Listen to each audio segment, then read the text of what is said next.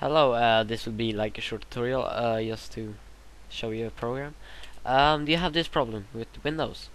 Uh, I guess it's XP. I don't know if this works for Vista and anything, but this works for Windows XP. Um, I guess more XP versions. Uh, this thing asks for genuine blah. Th when you start a computer, this things come up. This copy of Windows is not genuine. Blah blah blah, and then it stays like this. And what this does is you can't update Windows, which is not good because Windows has a lot of updates, which is uh, yeah makes it run faster and uh, most like secure things make your computer more secure against viruses and things like that. I think I don't know what the Windows updates does, but still, uh, if you want to get rid of this thing, you're gonna close this down. You're gonna download this program. I'm gonna post it on the Mega Upload. Um, I will have a link in the description, and soon I have a, will have a link to a different page when I'm done with my website. Then I will have all the links to my files in a certain position, whatever. Oh, there we go. Nope. There we go.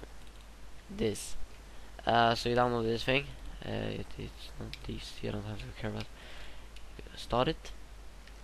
This is no virus or anything. Doesn't do anything to your computer.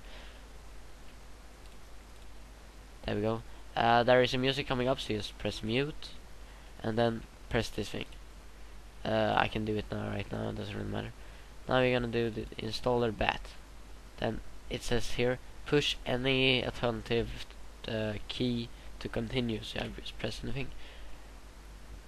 And then you do like this and then you do like press any key again. Restart your computer. If it doesn't work try it again. If that doesn't work leave a comment or a private message. So yeah I will leave a link to the download. Thank you for watching this tutorial and I hope it helped. Also after doing this it may come up down here in the with the yellow thing to update your windows but what I do which works better is you take up a control panel, go to uh, update thingy, uh, automatically update or whatever it's called. Then on this page, which looks like this, you should have this fill in, and also if you want to install the look for updates immediately, press this link here.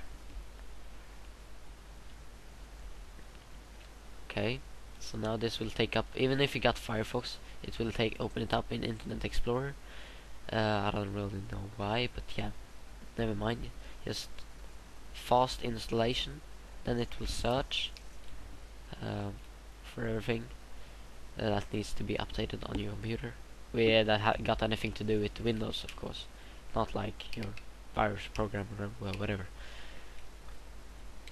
So yeah it will just search and uh, yeah and then you will press uh, install. So yeah uh, this is yeah it works um, for me every time because I have a fake uh, version of a cracked no not cracked I mean I got a fake version of Windows so this works for me and it works for all my friends so yeah. Thank you for watching this tutorial and I hope it helped uh, here it will say like install these blah blah blah and just press that thing and install. So yeah thank you for watching this tutorial and I hope it helped